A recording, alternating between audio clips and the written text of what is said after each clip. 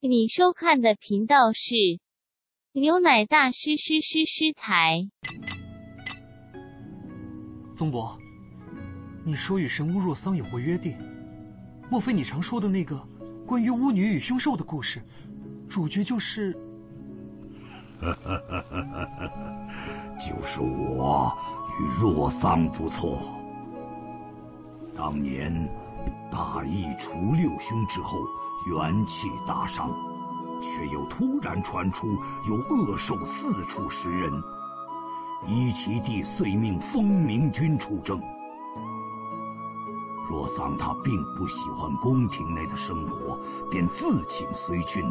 而我们，就是在一场围猎中初次相见。若桑他与一般的神巫不同。是个如同烈焰般张扬而美丽的女子。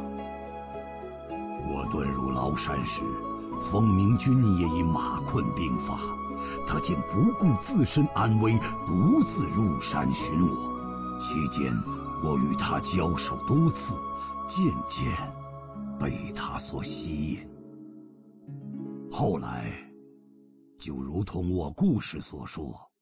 他发现我并非时人真凶，但又无法说服你祖公回帝都，于是便与风明君一起留下剑村。